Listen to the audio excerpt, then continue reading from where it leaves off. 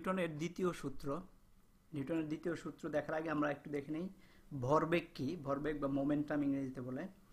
তো আমরা দেখতে পাই, আমরা যদি দেখো, আমরা চল্লিশ কেজি ওজনের একজন মানুষকে যদি আমরা ধাক্কা দিই, যদি একটা বল প্রয়োগ করি, এটা খুব সহজেই গতিশীল হচ্ছে। আবার একে যদি আমরা থামাইতে চাই, খুব সহজেই থামাই ফেলতে পারতেছে। মাত্র এই একশো পনেরো নিউটন বল প্রয়োগ করে একে থামাই ফেলছি আবার অন্য অন্যদিকে ঘুরিয়ে ফেলছি। তো এখন এর পরিবর্তে যদি আমরা একটা বড় জিনিস দেই এবং এটাকে যদি ধাক্কা দেই, একশো নিউটন কেন? একশো নিউটন কিচ্ছু আস্তে আস্তে যাচ্ছে। দুইশো ছয় নিউটন বলে আস্তে আস্তে যাচ্ছে। আরও জোরে যাচ্ছে, এটা গতিপ্রাপ্ত হচ্ছে। এখন এটাকে যদি আমরা থামাতে যাই, দেখো এর আগেরটা যত সহজে থামাই, থামাইতে পারছি তত সহজে থামাইতে পারতেছেন। দেখো, একশো একশো দিলে থামতেছে না। এটাকে আরও বেশি শক্তি, দেখো, একশো বত্রিশ নিউটন দিয়ে আস্তে আস্তে এটার গতি কমতেছে। ওই যে স্পিডোমিটারটা দেখো উপরের দিকে, স্পিডোমিটার দেখলে আস্তে আস্তে গতি কমতেছে। তার মানে এটা বুঝতে পারলাম যে ভরবেগ হচ্ছে বস্তুর একটি ধর্ম বা বস্তুর ভর এবং গতির সাথে সম্পর্কিত। ভর, এই বস্তুর ভর দুইশো কেজি এবং এটার গতির সাথে, এখানে যে গতি ছিল, গতির সাথে সম্পর্কিত।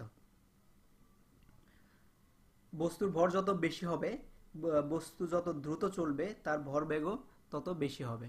তার মানে একটি বেশি ভরের, বেশি গতিতে চলা একটা বস্তুকে থামানো খুব কঠিন। একটা কম ভরের, কম গতিতে চলা বা কম ভরের সমগতিতে চলা বস্তু থামানো যত সহজ হয়, তার চেয়ে বেশি কঠিন, বেশি ভর হলে।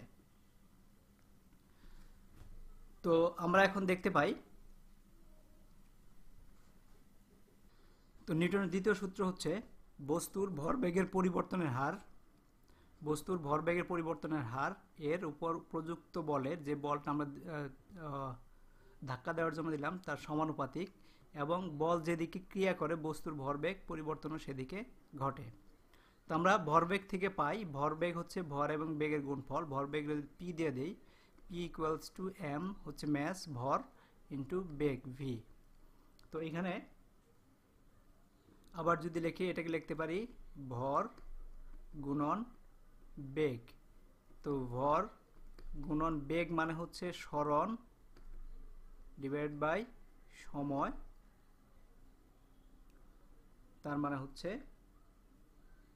এটা লিখতে পারি আমরা, ভর হচ্ছে এম যদি দেই ক্যাপিটাল এম স্মরণ হচ্ছে এল ডিভাইড বাই টি যেটাকে আমরা মাত্রা হিসেবে লিখতে পারি T to the power minus one এটি হচ্ছে আমাদের ভরবেগ।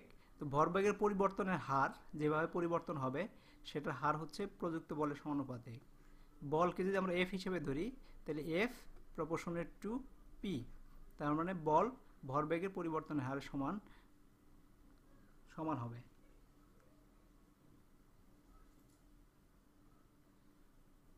তো এটাই ছিল আমাদের নিউটনের দ্বিতীয় সূত্র।